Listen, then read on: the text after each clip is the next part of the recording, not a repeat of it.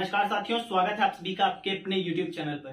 तो दोस्तों, मैं आज बात करने वाला हूँ एसएससी सीपीयू वैकेंसी के बारे में। साथियों, आप सभी जानते हैं जो एसएससी की जो सबसे ज़्यादा कोर वैकेंसीज हैं, उसमें सबसे पहले सीजीएल आता है, फिर सीपीओ फिर सीएचएसएल आता है, और कहीं ना कहीं अगर टेंथ लेवल की बात की जाए साथियों तो वो एमटीएस आता है।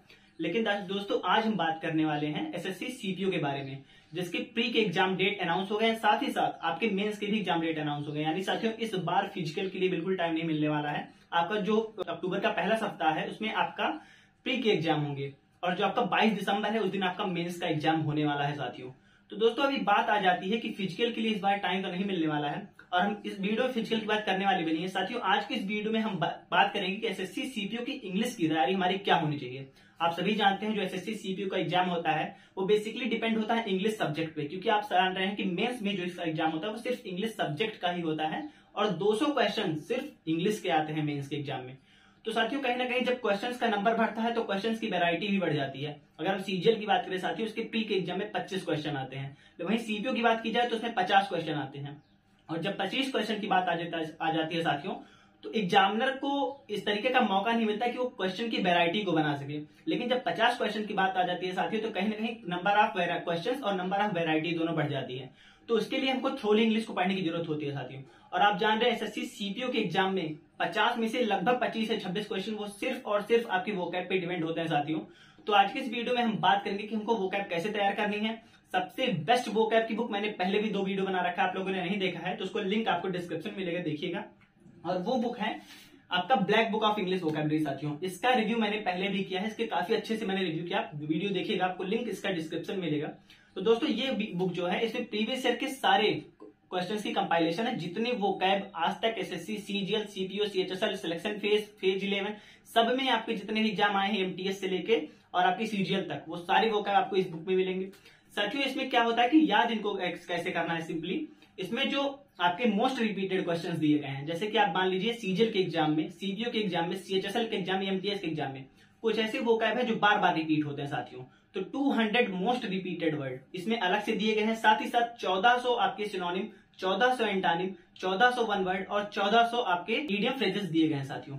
तो आपको अभी क्या करना है, जो आपके 200 मोस्ट रिपीटेड है साथियों, उनको अभी नहीं याद करना है। उनको इग्नोर करते हुए चलना है। आपको याद क्या करना है पर डे आपको 50 50 टारगेट करके 50 ईडीएम 50 वन वर्ड 50 सिनोनिम और एंटोनिम नहीं याद करना है।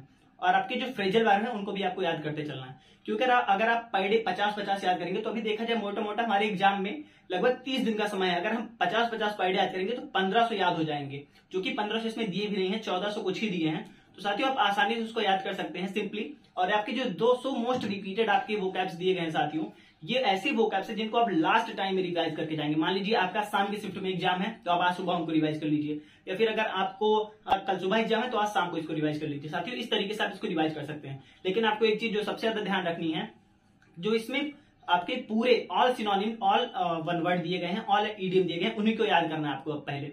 आपको जो, आप कुछ ऐसे मेरे साथी ऐसे होंगे जो केवल 200 मोस्ट रिपीटेड आर करते होंगे। लेकिन साथियों, आप ये देखिए कि जब नंबर ऑफ़ क्वेश्चंस ज़्यादा है तो नंबर ऑफ़ वेरायटी ज़्यादा है। और नंबर ऑफ़ वेरायटी अगर क्वेश्चन की अच्छी है, साथियों तो इसके लिए हमको आपको मल्टीपल क्वेश्चन प्रैक्टिस करने पड़ेंगे। इसके साथ साथ साथियों ग्रामर का वेटेज कहीं ना कहीं सीपीओ के एग्ज़ाम में कम हो जाता है, लेकिन वही मेंस की बात की जाए साथियों तो वहाँ पर आपका ग्रामर और वोकैब दोनों का वेटेज इक्वल हो जाता है। लेकिन साथियों, अभी हम जो टारगेट कर रहे हैं, वो प्री एग्ज़ाम को कर रहे हैं तो उसमें वोकैब के जो 25 से 26 क्वेश्चन आते हैं साथियों, उनके लिए ये बुक पैनासिया है। आप में से जितने भी भाई अगर सीपीओ की एग्ज़ाम की तैयारी कर रहे होंगे, आप सभी ज़्यादातर यही बुक फॉलो कर रहे होंगे, जिनके पास भी ये बुक होगी, हमें कमेंट सेक्शन में ज़रूर बताइएगा।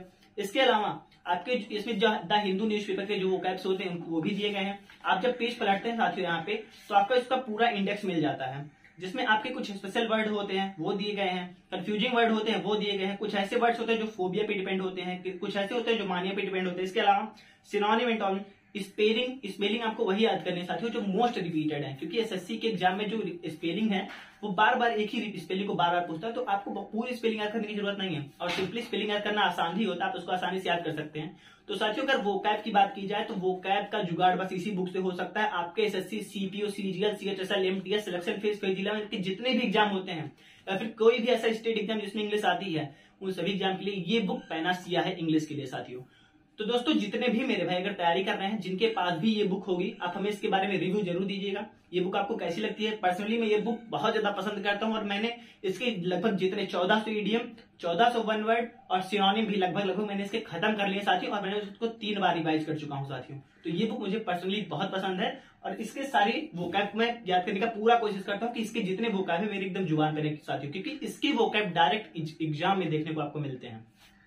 तो इस वीडियो के रिगार्डिंग आपके अगर कोई और डाउट बचती है तो आप हमें कमेंट सेक्शन में ज़रूर लिखिएगा। इसके अलावा एस एसएससी सीपीओ 2023 का जो एग्ज़ाम है साथियों ये एक ऐसी अपॉर्चुनिटी है जो आप देखिए केवल चार महीने में वैकेंसी क्लियर कराई जा रही है। अगर दिसंबर में इसका मेन्स आ जाएगा तो जनवरी तक वैकेंसी फाइनल हो जाएगी साथियों। तो एक, एक अच्छी अपॉर्चुनिटी है। इसके अलावा अगर आपके मन में और कोई डाउट है एसएससी सीपीओ को लेके तो आप हमें कमेंट सेक्शन में ज़रूर दीजिएगा साथियों। हम उसका पूरा वीडियो बना के आपको एक अच्छा सोल्यूशन देंगे। और मैंने भी इस बार फॉर्म फिल किया है साथियों एसएससी सीपीओ 2023 का तो मेरा भी टारगेट एसएससी सीपीओ ही है तो हम सभी मिलकर आगे बढ़ेंगे और एग्ज़ाम देंगे। तो साथ ही इस वीडियो के बारे में अपनी राय में ज़रूर दीजिएगा। जितने भी मेरे भाई अगर फ्रेशर हैं तो चैनल को ज़रूर सब्सक्राइब कर लीजिएगा। शेयर कीजिएगा इस वीडियो को और भी दोस्तों तक। तो फिर मिलता है नई वीडियो में, तब तक के लिए जय हिंद।